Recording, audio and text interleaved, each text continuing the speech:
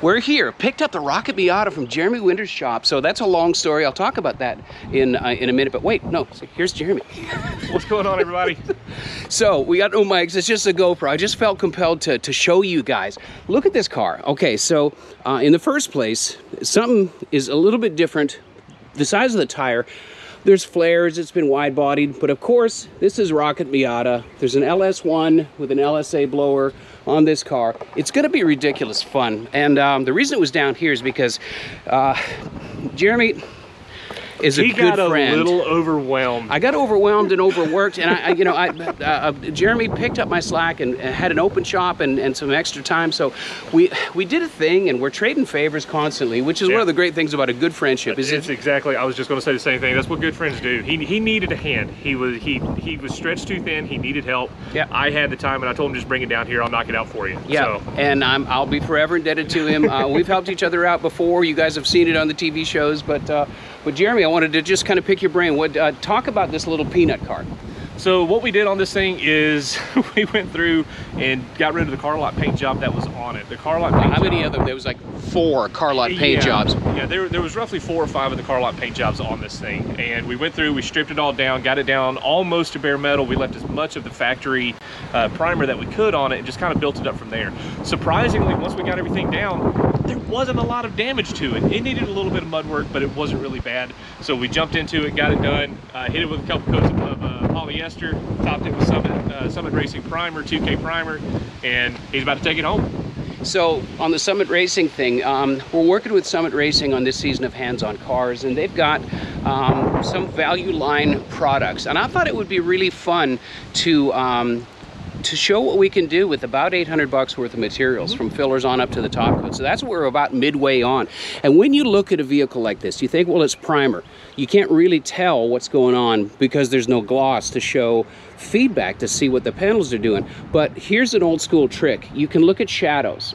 And I don't know if you can see them with the camera, but you can see the subtle difference between the dark, the spectral highlight here, and then it gets dark here. If you're gonna see, if this panel was damaged, you'd see ripples in that and it continues on here. I've got to do a minor adjustment on the door. Uh, you know, I haven't even put my hands on this car yet, but I can tell that Jeremy's done a great job on the bodywork, and it's nice and straight and flat. I can tell that because I'm looking at the shadows of the vehicle. You can really tell a lot by the shadows. Am I right? Absolutely. So, you know, there's some panel alignment stuff. We just slapped it back together again to get it back home to Tennessee. But um, I'm just so thrilled with the job that Jeremy did with the car. Um, we had a little minor incident with a tire. it was about to come apart. It was it was a May pop and probably a will pop. But So the good thing is that it happened here and not going through Atlanta traffic. So Yeah, much much easier to fix here than on the side of the road in Atlanta or somewhere else. because somebody got so excited get, coming down here to get the Miata that they forgot to put a spare tire in the back of the truck. So, See what had happened was see what had happened was because be- because fiberglass. because fiberglass. Why so not? yeah. So anyway, just a couple minutes showing you guys the car, but look at this thing. It's just neat, man. It's a neat little car. Uh, Vance did a fantastic job on the rear bumpers. I had cut away for exhaust. Decided to reroute the exhaust too. Right there, because that's just fun. We're going to do some tips right there, but we needed to fill in uh, some some anomalies and some weird things with the. Polyvance stepped up big time, and uh, the cool thing that comes out of that is that I'm going to go through their training. Uh, Well, see, that'll be cool. that will be really cool. I can't wait. They've in- invented their own nitrogen welding system uh, for plastics. So If, you- if you guys haven't seen the video that they put out, they put out what like a minute, minute and a half, something like that Ish. video. Just just a short, just blurb about what they did with the with fixing the bumpers themselves. They went through, they did some sort of a sandblasting. Yeah. It might not be sand. They might have used a different thing. I'm just saying. Mm. Uh, but they blasted the bumpers. They stripped them down. They had gone through, molded the plastic in, cut everything back in. It's it's really neat how they did it. Just showing showing everything, and you'll see more of it in detail on the on the season. Yeah. The bottom line is the car's ready to, to final sand and paint.